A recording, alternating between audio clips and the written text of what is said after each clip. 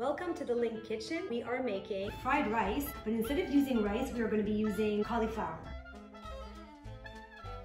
We are going to start by putting the cauliflower onto a skillet. Then I have one carrot chopped, I'm going to add to it. Red pepper chopped.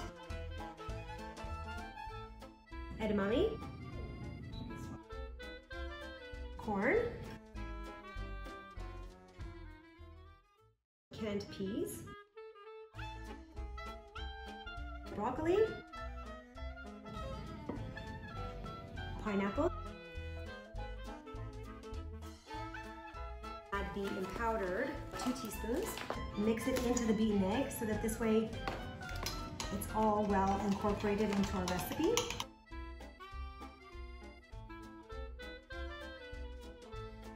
Mix everything together.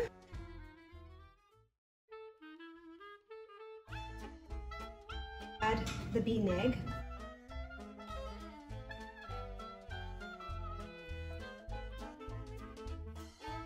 Add the teriyaki sauce.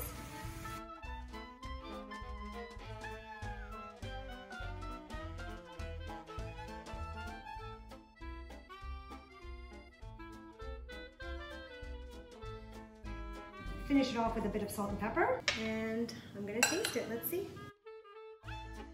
It's delicious, really delicious. A great alternative to fried rice. And don't forget to like, follow, and share our recipes.